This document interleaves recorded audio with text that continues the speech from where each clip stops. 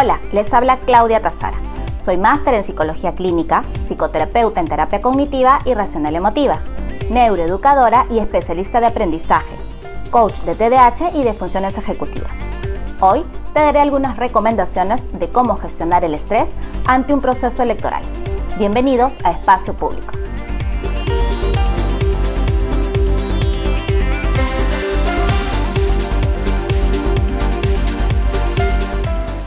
Actualmente, las elecciones influyen en el estado de ánimo de muchas personas, causando más ansiedad o estrés del que ya existía por la pandemia.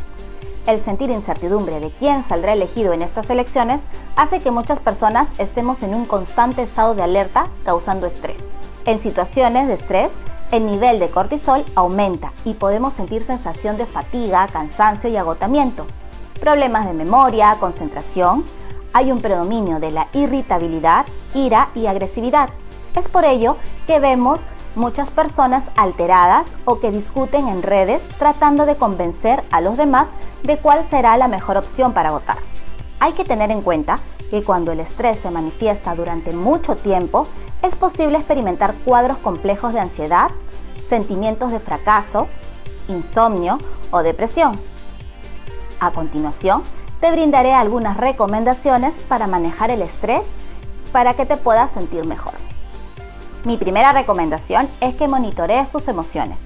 Analiza qué sientes, qué pensamientos automáticos tienes al respecto e identifica cómo esto te puede estar afectando físicamente. Es importante aprender a aceptar nuestras emociones, ya que negar la rabia, miedo, dolor o la ira pueden tener consecuencias en el futuro. Mi segunda recomendación es que te contactes con amigos o familiares, en especial con aquellos con los que tienes mucho tiempo que no interactúas y hablen de temas diversos para liberar la tensión. Pues si no tienes nada que hacer, volverás a preocuparte y a consumir noticias de manera obsesiva. Mi tercera recomendación es que evites discutir con personas sobre tus preferencias de candidatos, sobre todo con aquellos que tienen ideas diferentes a las nuestras. Hay que aprender a respetar las ideas de las personas y más en un país en donde estamos divididos en opiniones. Pon límites con las personas que sientes que te atacan o que no respetan tus puntos de vista.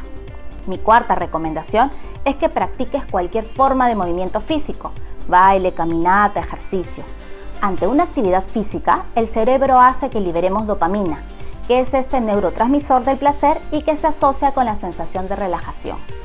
Además libera serotonina, es la hormona de la felicidad encargada de regular tu apetito, tu sueño y tu estado de ánimo. Libera también endorfinas, conocidas como las hormonas de la felicidad. El hacer ejercicio actúa como un calmante natural para el estrés. Recuerda que el único control que tienes es de informarte y votar, además de dosificar la información que ves diariamente. El estrés afecta de manera directa a la salud física y mental.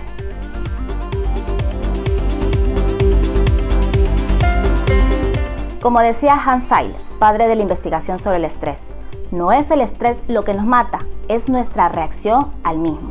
Y además decía que para vivir una vida larga y saludable necesitamos monitorear cómo percibimos, cómo reaccionamos y cómo manejamos la información que recibimos. Soy Claudia Tazara, neuroeducadora y psicoterapeuta en terapia cognitiva y terapia racional emotiva.